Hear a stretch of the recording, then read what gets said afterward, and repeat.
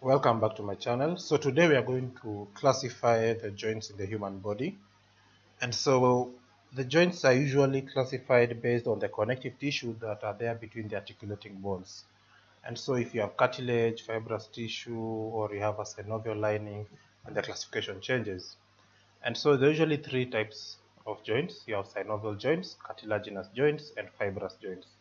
Cartilaginous joints are divided further into primary or secondary and so you have the synovial joint which actually has a synovial lining or what we call the synovial membrane that lines the cavity.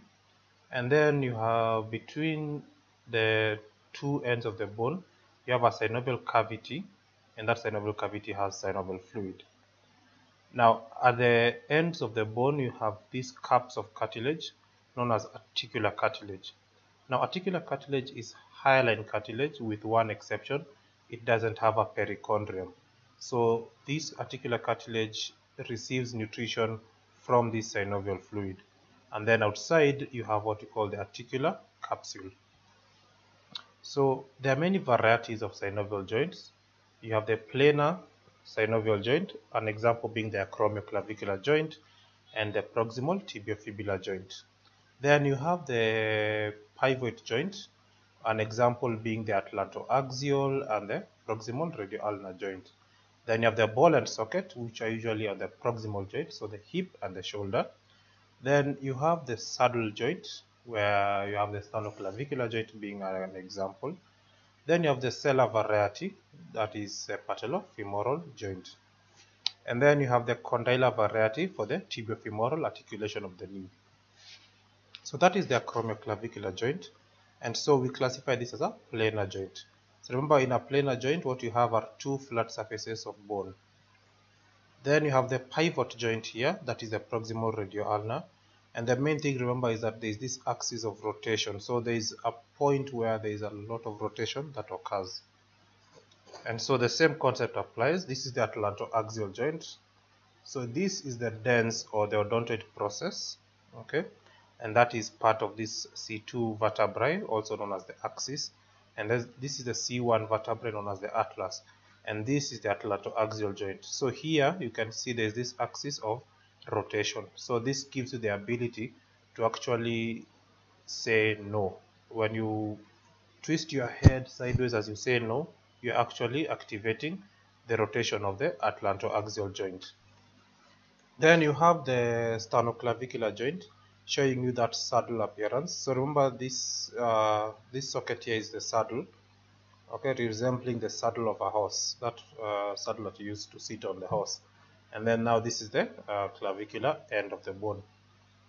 Then here what you have is the patellofemoral joint. You have the same trochlear groove of the distal femur that almost looks like a saddle okay? And then you have the patella bone coming to sit here and so this is known as a sellar variety. Sometimes it's interchangeably used with a saddle uh, name. So sometimes we call it saddle or saddle. Now for the cartilaginous joint it can either be primary or secondary. Now if it is primary we call that a synchondrosis. And usually what you have is cartilage between the two bones and the type of cartilage is hyaline cartilage. So the best is the joint between the ribs and the sternum what we call the sternocostal joint or sometimes uh, the epiphyseal growth plate when it's there. So before the fusion occurs so you have bone on one side bone on the other side and then you have hyaline cartilage uh, on the growth plate. And so this epiphyseal growth plate or this epiphyseal plate is actually an example of a synchondrosis. Then the secondary cartilaginous joint has fibrocartilage in between the two bones. And here we call it a symphysis so there's a mental symphysis between the two halves of the manubrium. Then you have the pubic symphysis between the two pubic bones of the pelvis. Then also the intervertebral disc. So here you can see the ribs, you can see the sternum, and this is the costal cartilage, the cartilage of the ribs, and this is hyaline cartilage that joins the ribs to the sternum. And so this is an example of a synchondrosis and here is an example of a symphysis so this is actually fibrocartilage between two bones so you have the one pubic bone there another pubic bone and in between you have fibrocartilage.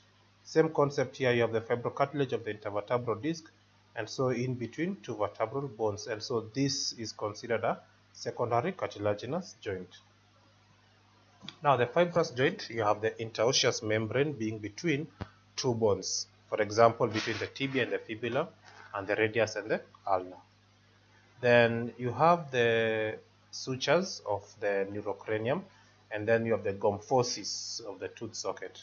So here you have the tibia, this is a posterior view, this is the tibia, that's the fibula, and in between of the interosseous membrane. So we consider this to be a fibrous joint or sometimes what we call a syndesmosis. Same concept here, you have the ulna, you have the radius, and in between have the interosseous membrane. Here what you have is the neurocranium. So this is the neurocranium and you have the sutures, the coronal suture, the sagittal suture and the lambdoid suture. And so these sutures actually represent a fibrous joint. Then you have the tooth socket. So you have the gomphosis joint between the socket coming from the mandible and the tooth. And so usually here there's some fibrous uh, tissue that connects the tooth to the mandible or the maxilla. So thank you very much. And if there is any question, you can leave them on the comment section below.